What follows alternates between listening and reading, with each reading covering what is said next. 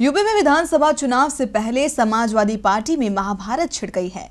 Ticket बंटवारे को लेकर एक बार फिर चाचा और भतीजा आमने सामने आ गए हैं। दरअसल रविवार को सीएम अखिलेश यादव ने पार्टी सुप्रीमो मुलायम सिंह यादव से मुलाकात करके 403 उम्मीदवारों की अपनी सूची सौंपी है। खास बात यह है कि सपा प्रदेश अध्यक्ष शिवपाल यादव पहले ही 175 उम्मीदवारों की सूची जारी कर चुके हैं। दोनों सूचियों में कुछ नाम छोड़कर बाकी नाम मेल नहीं खा रहे हैं।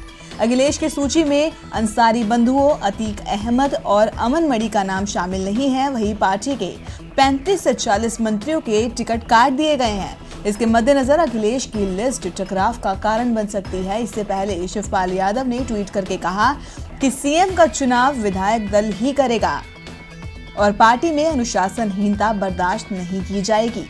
वहीं यूपी सरकार के विवादित मंत्री गायत्री प्रसाद प्रजापति को पार्टी का राष्ट्रीय सचिव नियुक्त करने को लेकर भी परिवार में टकराव की स्थिति बनी हुई है।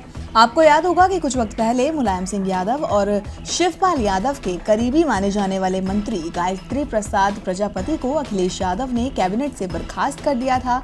लेकिन इसके कुछ दिन बाद ही अखिलेश को अपना फैसला वापस लेना पड़ा और एक बार फिर से गायत्री प्रसाद प्रजापति यूपी सरकार का हिस्सा बनाए गए। यूपी में अगले साल फरवरी में विधानसभा के चुनाव होने हैं, लेकिन उससे पहले ही परिवार में फिर से टकराव की स्थिति बन गई है। ऐसे में नेताजी पारिवारिक झगड़े को कैसे सुलझाते हैं, ये देखना बाकी होगा। देखते रहिए डीबी लाइव।